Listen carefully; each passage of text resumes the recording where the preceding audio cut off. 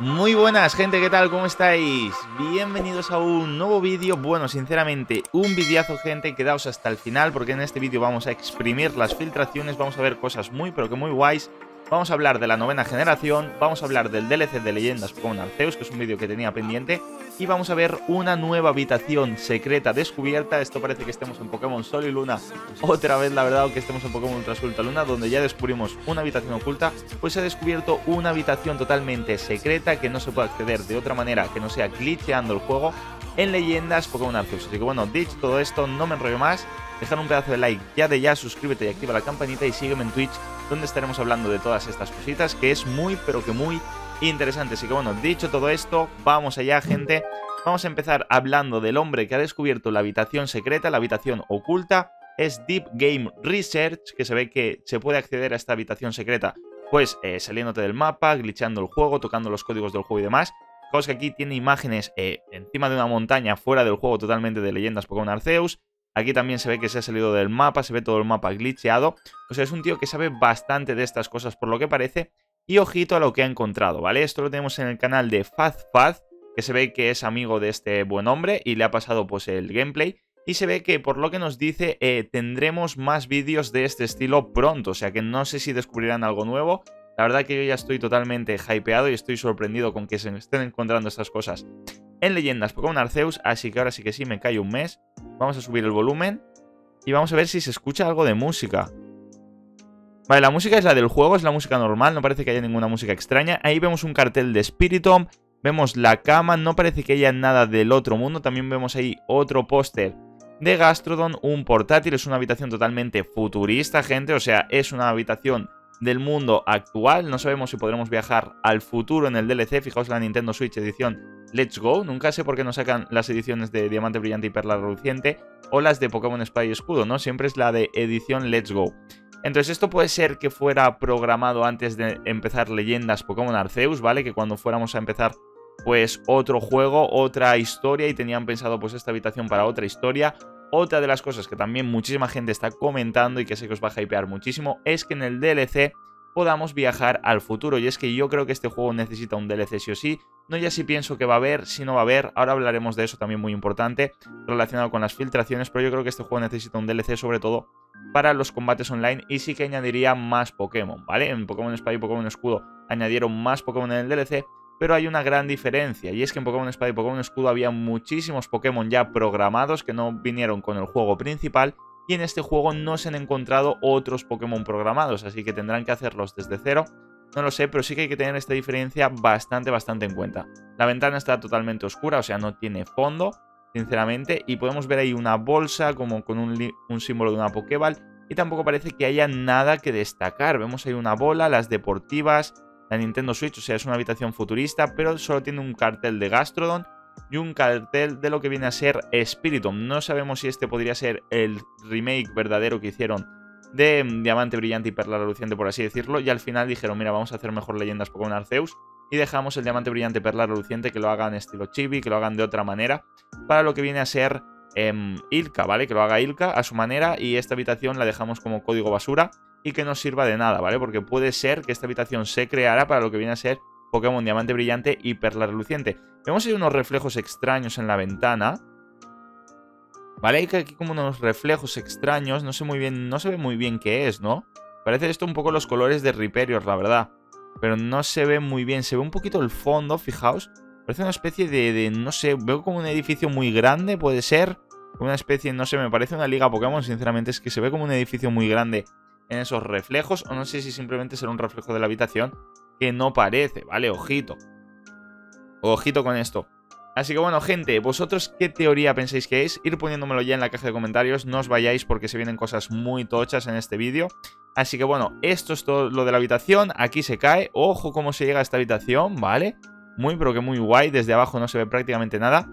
Y aquí se cae el vacío ya. Vale, no se cae el vacío. Estoy reaccionando con vosotros, ¿eh? Estoy analizándolo con vosotros, estoy reaccionando con vosotros, que os habéis vuelto locos con esta noticia.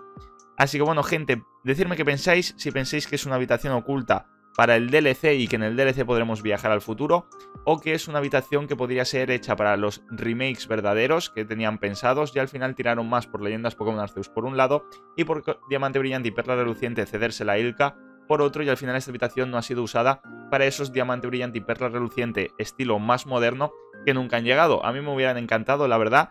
Así que bueno, gente, estas teorías están muy pero que muy bien. Dejadme allá en vuestra en la caja de comentarios.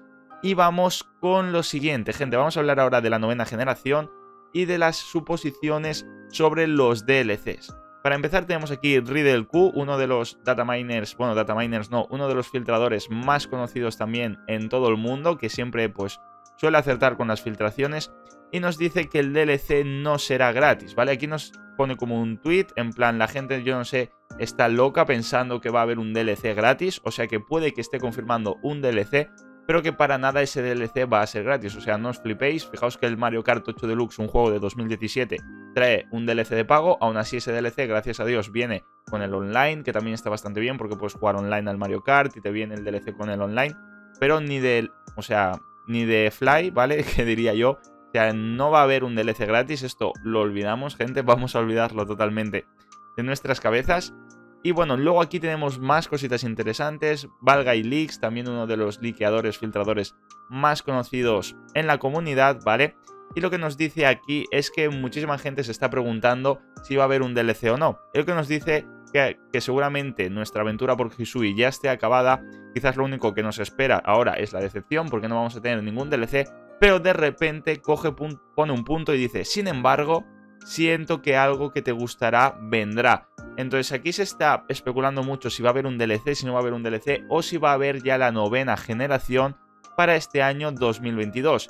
Guiándonos un poco por los tweets que nos pone aquí Valga y Leaks, pues seguramente no haya un DLC, pero si tengamos una novena generación o un nuevo juego de Pokémon, una nueva IP.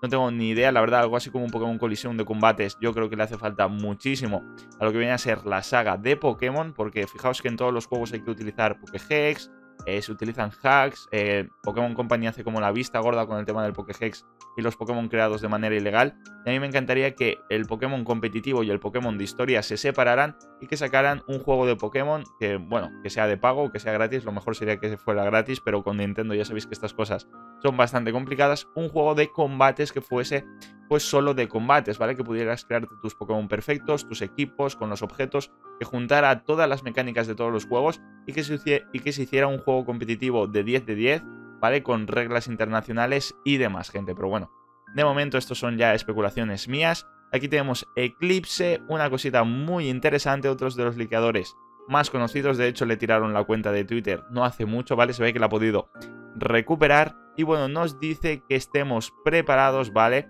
Porque el 26 de febrero se viene un Pokémon Direct o se viene un anuncio bastante tocho de Pokémon. O sea, fijaos que nos lo pone aquí, 26 del 2 de 2022.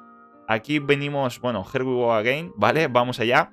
Y vamos allá de nuevo y está al lado, ¿vale? Está al cruzar la esquina. Este nuevo DLC o esta nueva anuncio de Pokémon, no sé, vamos a ver el 26 de febrero, queda nada, quedan 12 días. Y luego tenemos aquí otra cosa súper mega interesante. Lo sé que estoy tocando muchísimas cosas, pero es que en este vídeo el DLC y las especulaciones se vienen por todos lados, gente. Y fijaos aquí lo que nos dice un usuario de Reddit, de PokéLeaks, y esto es como un pequeño easter egg de los trailers de leyendas Pokémon Arceus. En Pokémon Espada tuvimos dos DLCs, el DLC de la isla de la armadura y el DLC de las nieves de la corona. Y fijaos que aquí esto no me había fijado yo, pero es verdad, gente. A ver si podemos ampliar la imagen. Ahí está. Perfecto. Fijaos que aquí tenemos dos libros más. Tenemos dos libros más. Y es lo que nos está diciendo. Esto es algo oculto, es un easter egg de los trailers. O sea, fijaos que tenemos el libro de Hisui, ¿vale? Lo que viene a ser la Pokédex de Hisui, más o menos, algo así parecido. El libro del juego que estamos jugando. Y detrás hay un libro morado y detrás hay un libro verde. O sea, Fijaos que esto podrían ser los dos DLCs, igual que tuvimos con Pokémon Espada y Pokémon Escudo, pues dos DLCs para lo que vendría a ser Leyendas Pokémon Arceus. Uno que llegase más o menos en verano y otro que llegase a finales de año, ¿vale? Y que nos lo vendiesen pues como un pack, igual que hicieron con los DLCs de Pokémon Espada y Pokémon Escudo. Así que muy interesante estos dos libros. Ponerme vosotros qué pensáis sobre los dos libros estos en la caja de comentarios, que puede ser una cosa muy pero que muy chula y puede ser que nos estén ya avisando de que se vienen DLCs. Ojito aquí, ¿eh? Ojito aquí. Vale, vamos aquí. Aquí otra gente que pone otra especulación, contradiciéndose con otros leakers y demás. Y bueno, aquí nos ponen que el 27 de febrero va a ser una locura. también juntándose con ese 26 de febrero que nos decía Eclipse. Y aquí Centrolix lo que dice es que esperemos algo en abril, que no esperemos en febrero. Hay muchísimos tweets sobre leakers que va a haber algo nuevo en abril. No sabemos si va a ser el anuncio del DLC, no sabemos si va a ser la novena generación, pero sí que se habla bastante de también un anuncio en abril. O sea, se habla por una parte de un anuncio el 26 de febrero y por otra parte de un anuncio en abril, gente. O sea que estaremos atentos. Madre de Dios, o sea, tenemos noticias por todos los lados. Y vamos aquí con otro de estos tweets también bastante interesantes. Y es que, bueno, aquí lo que nos dicen es que hay un DLC que se está trabajando. Aquí CentroLeaks nos dice que hay un DLC en el, que, en el cual se está trabajando ya. Pero que aparte de un DLC en el que ya se está trabajando, también se está trabajando en la novena generación. O sea que esto es bastante interesante. Así que bueno, parece que no van a sacar el DLC obviamente y la novena generación los dos juntos, es lo que nos dicen, porque no tendría ningún tipo de sentido. Entonces puede ser que sea este año parecido al año que hemos tenido 2021-2022, sacando el DLC para 2021, finales de 2021 y sacando la novena generación para principios de 2023. Pues no lo sabemos, gente, pero seguramente si sacan DLC y luego del DLC la novena generación, eso va a ser una auténtica locura y seguramente sea de la manera que hemos visto Diamante Brillante y Perla Reluciente junto con Leyendas Pokémon Arceus. Tendríamos la última parte del DLC, ese libro morado, ¿vale? Que, bueno, creo que era el libro morado, ¿no? No, el libro morado sería el primer DLC y el libro verde el segundo DLC, simplemente por orden de cómo están puestos, ¿no? Así bueno, lo que nos diría es eso, que para finales de 2022 tendríamos la última parte del DLC y para principios de 2023 parece ser que tendríamos la novena generación. Si esto es así, o sea, Pokémon ya sería un año de locura, porque lo que hemos vivido con Diamante Brillante y Perla Reluciente y Leyendas Arceus, la verdad que no lo hemos vivido nunca, y volverlo a vivir este año con el DLC y también con la novena generación, yo creo que ahí ya se puede acabar el mundo prácticamente. Y vamos a ver aquí otro de los tweets que también se ha estado hablando muchísimo, y es que el 15 de octubre de 2021 CentroLeaks acertaba con todas estas filtraciones, o sea, todas estas filtraciones son verdaderas y la última filtración, la única por así decirlo, que está por confirmar es la de que habrá un DLC para Leyendas Pokémon Arceus en 2022. Así que bueno, nos dice que Game Freak está pues intentando que haya una Pokédex de alrededor de 400 Pokémon, o sea, unos 350, 450 sobre esos números, imagino que estará y eso estará incluido en el DLC, o sea, incluyendo el DLC será alrededor de 400 Pokémon. Actualmente tenemos 242 en lo que viene a ser la Pokédex de leyendas Pokémon Arceus, bueno, 244 mejor dicho, con Darkrai y Simon, si no me equivoco. Así que bueno, esto incluiría pues unos 160 nuevos Pokémon, que es muy pero que muy tocho. Pero ¿qué pasa? Que esto nos lo pone el 15 de octubre de 2021 y el 16 de octubre de 2021, el, al día siguiente Centro Leaks se contradice y nos dice que no habrá un DLC, sino es que la novena generación estará en 2022. Así que bueno, nos pone el 15 de octubre una cosa y el 16 de octubre se contradice, gente. Así que bueno, vamos a dejarlo por aquí. Sé que os he traído un montonazo de cosas. Ponerme, por supuesto, vuestra opinión en la caja de comentarios. Yo estoy hipeado, gente. No sé qué esperar, la verdad. Porque hay muchísima información, esta habitación oculta, eh, mucha gente especulando sobre la novena generación, el anuncio de finales de febrero, el anuncio de abril. Vamos a ver qué nos trae Pokémon este 2022 porque parece a priori que va a ser increíble, gente, y ya la gente está con el DLC que tiene un hype por las nubes. Yo creo casi seguro que habrá un DLC para Leyendas Pokémon Arceus, no porque crea que eh, Game Freak va a hacer esta estrategia de cada vez que saque un juego nuevo le ponga un DLC, sino es porque creo que es un juego que le faltan Pokémon. O sea, creo que tiene bastantes pocos Pokémon y también creo que le faltan los combates online. Así que espero que trabajen mucho en un DLC. También todo lo que hemos visto nos, nos invita a pensar que va a haber un DLC en Leyendas Pokémon Arceus y yo espero que lo implementen, ¿vale? Ya que no hay demasiados Pokémon, sinceramente, y tampoco tenemos combates online, así que bueno, puede ser que llegue una nueva isla, vuelva a Bolus, diga que ha descubierto algo y todo esto, y veremos, ¿vale? También había muchísimas filtraciones sobre una nueva forma de Arceus, que de momento la nueva forma de Arceus no la tenemos en el juego. Puede ser que la implementen en el DLC, quién sabe, podamos utilizar el poder de Arceus para crear grietas y que no sea tan pesado farmear grietas espaciotemporales.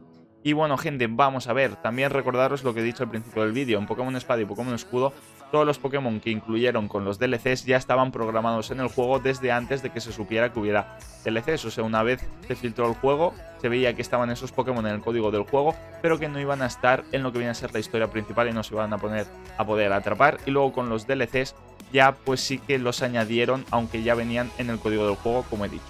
Así que bueno, gente, me enrollo un montón, ya lo sé, pero es que estoy muy hypeado. Espero que dejéis un pedazo de like, por supuesto, suscribiros y activar la campanita. Y bueno, seguirme en Twitch, pasaos por Twitch, estaremos hablando de todo esto, estaremos analizándolo a fondo, gente, y, y madre mía, o sea, sin palabras, sin palabras. Seguirme en Twitch muy importante. No me enrollo más. Muchísimas gracias por todo el apoyo. Nos vemos en el próximo vídeo. Adiós.